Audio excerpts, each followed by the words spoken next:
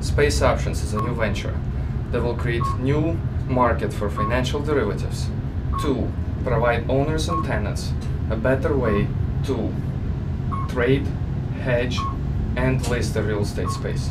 Good morning. Thank you for taking two, for giving us two minutes of your precious time. How does a physician decide if an antibiotic treatment is necessary? Usually, if in doubt, he prescribes a broad spectrum antibiotic.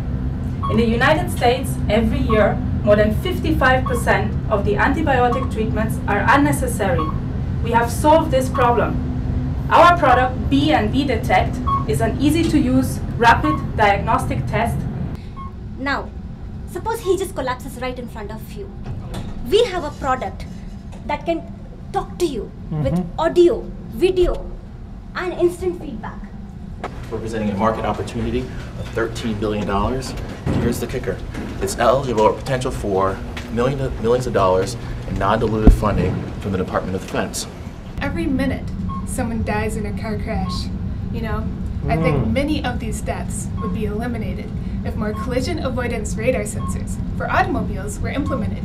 Actually, we have the pat- uh, patent pending disruptive platform technology that will solve all internet security and authentication Really? related um, issues. Yes. How do you We- do that? We uh, developed the secure web server key and the narrow gate software.